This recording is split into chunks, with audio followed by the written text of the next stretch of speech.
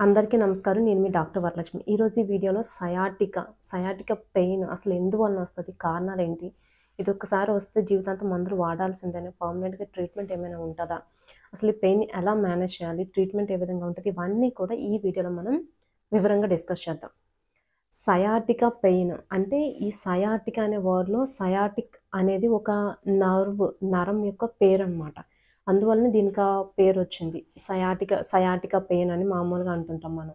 అసలు ఈ sciatica pain రావడానికి కారణం ఏంటి? అనేది మనం తెలుసుకునే ముందు అసలు ఈ నర్వ్ ఎలా ఫామ్ అవుతుంది? దాన్ని అది ఎక్కడి నుంచి ఎక్కడికి ట్రావెల్ అవుతుంది? అవన్నీ మనకు తెలిస్తే వివరంగా అర్థమవుతుంది మనకి స్పైన్ ఉంటుంది కదా! మనకి వెన్నుపూసలో పైన సర్వైకలు, థొరాసిక్ ఇంకా కింద భాగంలో లంబారు ఇంకా అన్నిటికన్నా కింద సాక్రల్ ఇవన్నీ మొత్తం స్పైన్ ఉంది కదా! ఈ స్పైన్‌లో కింద భాగం అంటే లంబార్ రీజన్ నడుం భాగంలో ఉండే ఈ వెన్నుపూసలు నుంచి ఇది స్టార్ట్ అవుతుంది అనమాట నవ్వు అంటే ఎల్ ఫోర్ నుంచి మొదలవుతుంది. ఎల్4, ఎల్5 కింద సాక్రమ్‌లో ఉండే ఎస్1, ఎస్2, ఎస్3 వరకు కూడా ఈ భాగాల నుంచి వచ్చే నర్వ్ రూట్స్ స్పైనల్ నర్వ్స్ నుంచి ఈ సయాటిక నర్వ్ అనేది ఫామ్ అవుతుంది. ఈ సయాటిక నర్వ్ తుంటి భాగంలో మొదలయ్యి ఇంకా పాదం కింద వరకు కూడా ఉంటుంది అందుకే సయాటిక్ పెయిన్ వచ్చిన వాళ్ళకి ఆ తీవ్రత బట్టి ఏంటంటే మనకి తుంటి భాగంలో నొప్పి మొదలయ్యి తై భాగం వరకు లేదా ఇంకా కాలు కాలి వరకు ఇంకా సివియర్‌గా ఉన్న పాదం వరకు కూడా ఆ పెయిన్ అనేది ఎక్స్‌టెండ్ అవుతూ ఉంటుంది అసలు ఈ సయాటిక పెయిన్ ఎందుకు వస్తుంది ఇది మనం ఇప్పుడు చెప్పుకున్నాం కదా! ఎల్ ఫోర్ లంబార్ స్పైన్‌లో ఉండే ఎల్ ఫోర్ నుంచి ఇంకా సాక్రల్ రీజియన్‌లో ఉండే ఎస్3 వరకు ఉన్న స్పైనల్ నర్వ్స్ కలిసి ఈ సాటిక్ నర్వ్ ఫామ్ అవుతుందని చెప్పాం కదా! ఈ ఈ స్పైనల్ నర్వ్ ఫార్మ్ అయ్యే దగ్గర కంప్రెషన్స్ ఏమైనా జరిగినా, ఏదైనా లెవెల్‌లో కంప్రెషన్స్ జరిగినా, లేదంటే ఇంజరీస్ జరిగినా, డిస్లోకేట్ అవ్వటం, ఇంకా డిస్క్ ప్రొలాప్స్ అంటాం. డిస్క్ అంటే మనకి వట్టిబ్రస్ ఉంటాయి. అంటే వెన్నుపూసలు ఉన్నాయి కదా! ఈ వెన్నుపూసల మధ్య భాగంలో కుషన్ లాంటిది ఉంటుంది అనమాట అంటే మనకి వెన్నుపూసల మూమెంట్స్ అవి మనం కొంచెం ముందుకు వంగున్నా, నిల్చున్న నడిచిన సైడ్‌కి ఇలా టర్న్ అయినప్పుడు కూడా ఏంటంటే మూమెంట్ సరిగ్గా జరగటానికి డిస్క్ అనేది ఉంటుంది. ఈ డిస్క్ కుషన్లో పనిచేస్తుంది అనమాట ఎప్పుడైతే ఈ డిస్క్‌లో ప్రాబ్లమ్స్ వచ్చి లేదంటే డిస్క్ బల్జ్ అయ్యి బయటకు వస్తున్నప్పుడు ఈ నర్వ్‌ని కంప్రెస్ చేస్తుంది. ఈ నరం మీద ఒత్తిడి పడుతుంది అనమాట దానివల్ల ఈ సయాటికా పెయిన్ అనేది మొదలవుతుంది.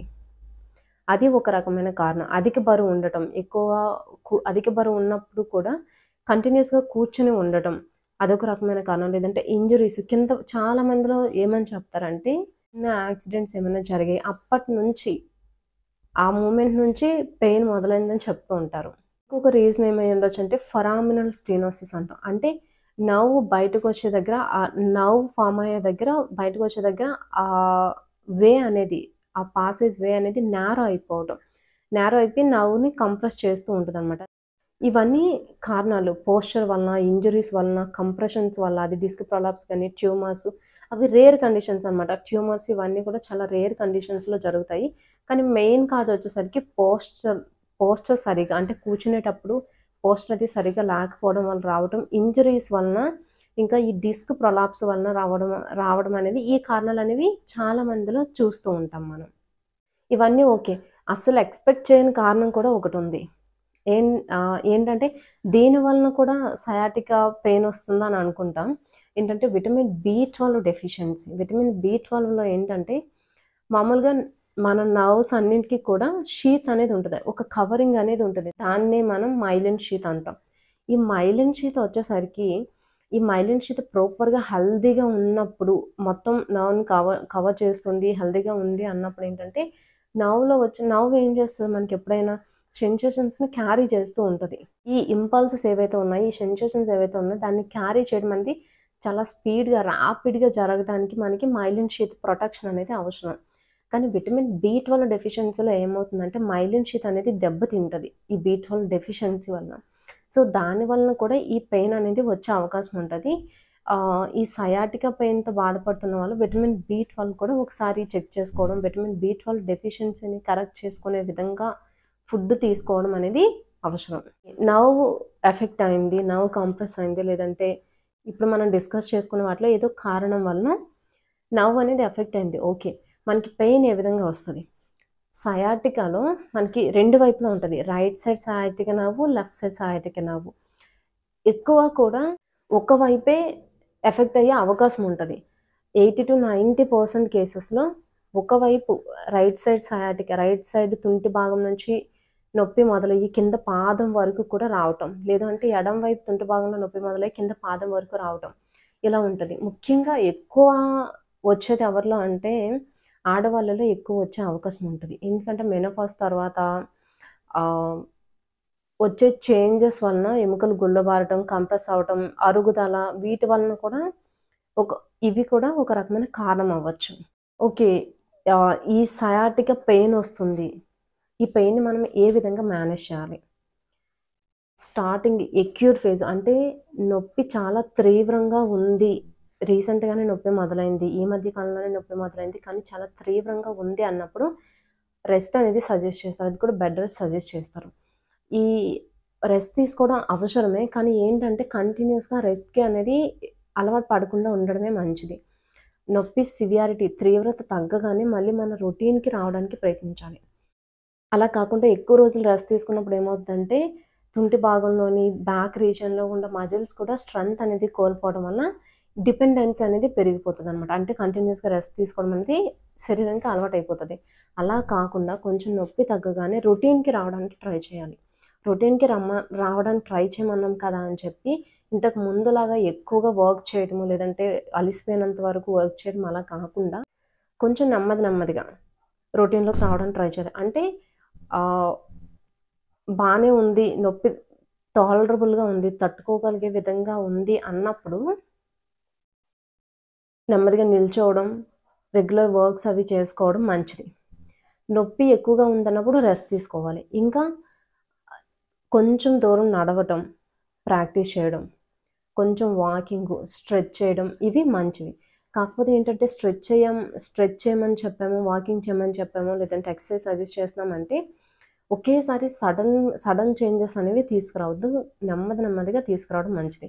ఇంకా సయాటిక పెయిన్తో బాధపడుతున్న వాళ్ళకి ఫిజియోథెరపీ కూడా సపోర్ట్ కూడా బాగా పనిచేస్తుంది. ఎందుకంటే నవ్వు ఎఫెక్ట్ అయింది కాబట్టి కాంపన్సేటరీ మెకానిజం అనేది మనం డెవలప్ చేసుకోవడం మంచిది. అంటే మజిల్ స్ట్రెంగ్త్ని పెంచుకునే పెంచుకోగలిగే విధంగా ఉంటే ఈ ఈ పెయిన్ని చాలా వరకు మేనేజ్ చేయొచ్చు అనమాట ఫిజియోథెరపీ ఇనిషియల్ స్టేజెస్లో కానీ తర్వాత కానీ మెడికేషన్తో పాటు ఫిజియోథెరపీ తీసుకోవడం మంచిది.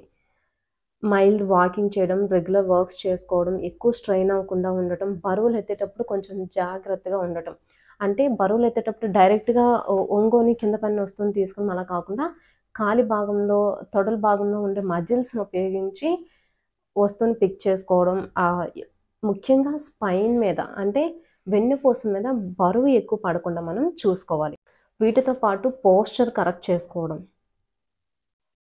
ఇంకా పోస్చర్ అనే కాదు చాలామంది ఉద్యోగరీత్యా ఎక్కువసేపు కూర్చోవాల్సి వస్తుంది అనమాట ఎక్కువసేపు కూర్చున్నప్పుడు ముఖ్యంగా అధిక బరువు ఉన్న వాళ్ళు ఎక్కువసేపు కూర్చున్నప్పుడు ఏంటంటే ఆ బరువు అంతా కూడా మనం కూర్చున్నప్పుడు ఆ బరువు అంతా కూడా స్పైన్ భాగంలో కింద స్పైన్ కింది భాగంలో అంటే లంబార్ స్పైన్ సాగ్రము వీటి మీద ఎక్కువ పడుతూ ఉంటుంది అనమాట దానివల్ల కంప్రెషన్స్ జరుగుతూ ఉంటాయి. సో మధ్య మధ్యలో లేచి నడుస్తూ ఉండడం అనేది మంచిది. ఇంకా ట్రీట్మెంట్ విషయానికి వచ్చేసరికి హోమియోపతి వైద్యం అనేది దీనికి అద్భుతంగా పనిచేస్తుంది. ఇది డైరెక్ట్గా ఇలాంటి వీడియోస్లో మెడికేషన్ అనేది సజెస్ట్ చేయలేము. కాకపోతే ఏంటంటే ఏ విధంగా ఉంటుందని మాత్రం చెప్పగలము. ఇంజురీస్ వలన వచ్చే వాటికి ఇంజురీస్ యాక్సిడెంట్స్ జరిగాయి లేదంటే కింద పడ్డాము అప్పటి నుంచి మొదలయ్యాయి ఈ సయాటిక పెయిన్ అన్న వాళ్ళకి ఒక గ్రూప్ ఆఫ్ రెమెడీస్ అనేవి ఇండికేట్ అవ్వచ్చు.